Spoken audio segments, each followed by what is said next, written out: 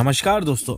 तो कल यानी कि पाँच फरवरी को ये अपडेट निकलकर सामने आई थी कि पूजा एंटरटेनमेंट्स अपनी अगली फ़िल्म बड़े मियाँ, छोटे मियाँ का ऑफिशियल अनाउंसमेंट आज यानी कि 6 फरवरी की दोपहर साढ़े बारह बजे एक वीडियो टीजर के साथ करने वाले हैं।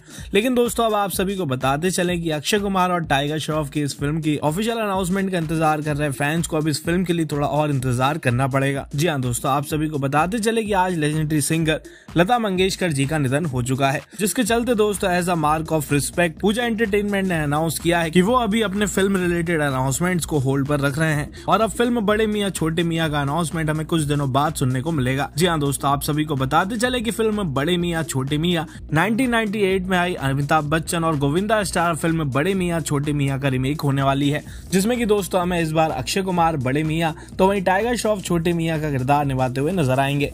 फ़िल्म का इस बार निर्देशन करने वाले हैं अली अब्बास ज़फ़र। वही फ़िल्म को प्रोड्यूस कर रहे हैं जैकी बगनानी, वाशु बगनानी और दीपशिका देशमुख पूजा एंटरटेनमेंट के बैनर तले।